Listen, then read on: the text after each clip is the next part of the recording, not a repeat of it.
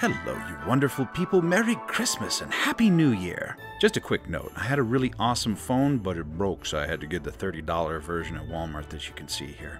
So the video isn't going to be as high quality. Anyway, our trip started out awesome. We went to the Christmas Eve service and we drove all around looking at Christmas lights. Once again, sorry about the quality. I was working with a potato, you know? but it works. One thing that you might notice about these uh, shots is that there is a very distinct lack of snow. And oh, we were wishing upon a star for snow, and there was no snow. we were hoping that we would wake up on Christmas, oh, there's snow, but there wasn't any snow. Um, yeah, be careful what you wish for, by the way. You'll see coming up here Did you see that? It's like a minion there. Someone's got a minion.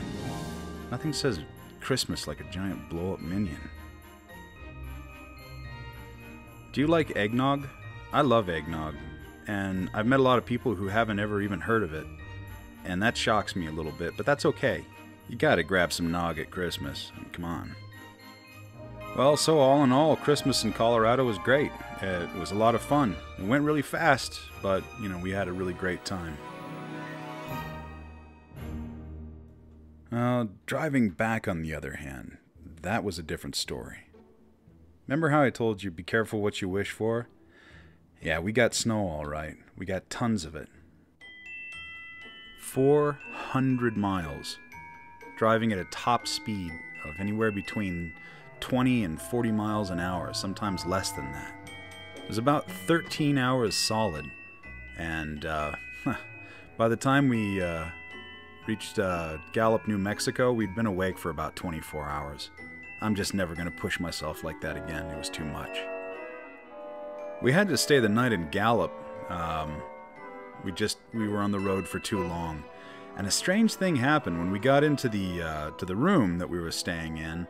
Um, I suffered a pretty severe uh, mental exhaustion. It just I felt so broken, and um, it's going to be a memorable night. It's going to be a memorable trip for me, for sure. I think for the rest of my life. It was pretty extreme.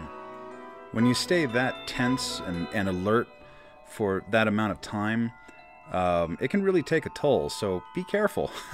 be very careful. All is well now, though. I'm all rested up and feeling fine.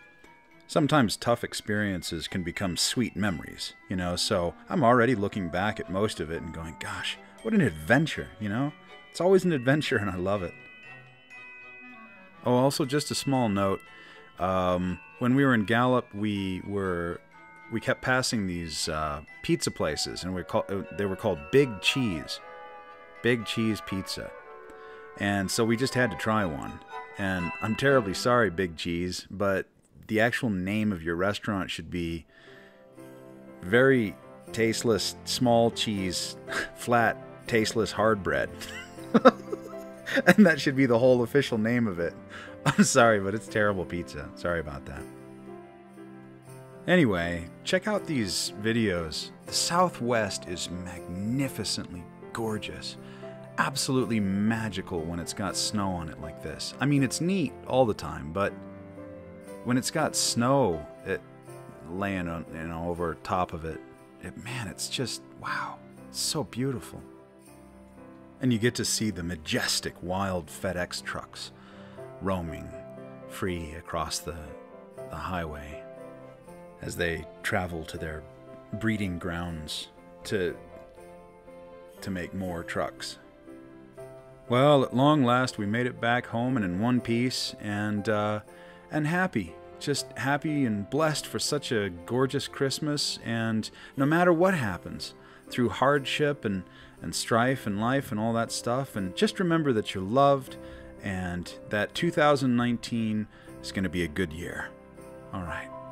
So, Merry Christmas and have a Happy New Year, and I'll see you later.